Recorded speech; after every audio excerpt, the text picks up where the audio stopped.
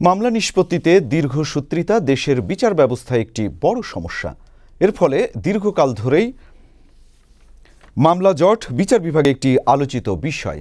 গেল ডিসেম্বরের পরিসংখ্যান অনুযায়ী একত্রিশ লাখ মামলা নিষ্পত্তির অপেক্ষায় আছে দেশের বিচারিক আদালত থেকে সর্বোচ্চ আদালত পর্যন্ত। যুগ যুগ ধরে ঝুলে আছে এমন অনেক মামলা, আদৌ কোনোদিন নিষ্পত্তি হবে কিনা তা নিয়ে সংশয় রয়েছে। ঢাকা বিশ্ববিদ্যালয়ের ভূতত্ত্ব বিভাগের ছাত্র বীরেন্দ্র কুমার মজুমদারকে উনিশশো সাতাত্তর সালে ছুরিকাঘাতে হত্যা করা হয়। আটত্রিশ বছর পেরোলেও সেই হত্যা মামলা এখনও বিচারিক আদালতেই নিষ্পত্তি হয়নি। ঢাকার বিশেষ জজ আদালত তিন এর পাবলিক প্রসিকিউটর জরাজীর্ণ নথি ঘেটে বললেন, এই মামলার নিষ্পত্তিতে অনিশ্চয়তার নানান কারণ। লাশের সুরথাল রিপোর্ট এবং ডাক্তারের যে মেডিকেল পোস্টমর্টম রিপোর্ট, সেই রিপোর্টটি ওই সিডিতে সংরক্ষিত থাকায় এবং সিডিটি আমাদের কাছে না থাকায় সাক্ষী আমরা সমাপ্ত করতে পারিনি। ফৌজদারি ও দেওয়ানি এমন অনেক মামলা রয়েছে যা নানান কারণে বছরের পর বছর যুগের পর যুগ বিভিন্ন আদালতে পড়ে আছে। উকিলেরা তো বলে যে আজকে ওই পক্ষের সময় ছিল।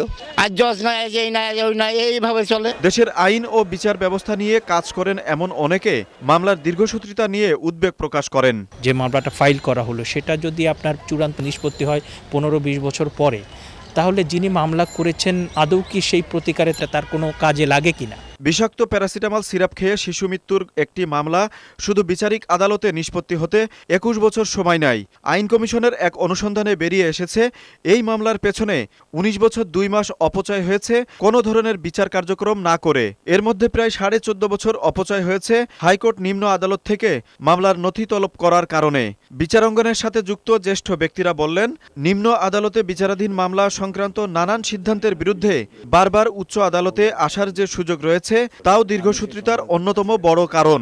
ডিলে হওয়ার কারণটাই হলো মুলতবি ঘন ঘন মুলতবি। এতে করে কি হয়? এরপরে তো আর বিচার প্রার্থী জনগণ সাক্ষী নিয়ে আসতে চায় না।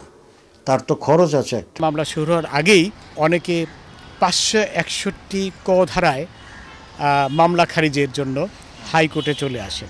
এর প্রচুর অপব্যবহার হচ্ছে আমি দেখেছি হাইকোর্টে থাকাকালে এবং আপিল বিভাগে থাকাকালে। দীর্ঘসূত্রিতার কারণে মামলার পাহাড় জমছে। পুলিশের ভূমিকাকেও এজন্য দায়ী করছেন সংশ্লিষ্টরা। পুরোনো মামলা কিন্তু এগুলো আবার সহজে শেষ করা যাচ্ছে না। এই সমস্ত মামলায় সাক্ষী পাওয়া যাচ্ছে না। সাক্ষী না আসার কারণে মামলাগুলো শেষ করা যাচ্ছে না। আদেশের সাথে সাথে যদি সমনটা প্রসেসটা ইস্যু করে যদি প্রসিকিউশনকে দেওয়া হয় সেই ক্ষেত্রে আমরা দ্রুত এটা সার্ভ করে ওই সাক্ষীকে আদালত পর্যন্ত আনার ব্যবস্থা আমরা পুলিশের পক্ষ থেকে করতে পারব। আইনজীবীদের নিয়ন্ত্রক প্রতিষ্ঠান বাংলাদেশ বার কাউন্সিলের নির্বাচিত ভাইস চেয়ারম্যান এবং সাবেক আইনমন্ত্রী দীর্ঘসূত্রিতার সমস্যা দূর করতে নানান পরামর্শ দিয়েছেন। একটা বিরোধ দেখা দিয়েছে এটা নিষ্পত্তি করা।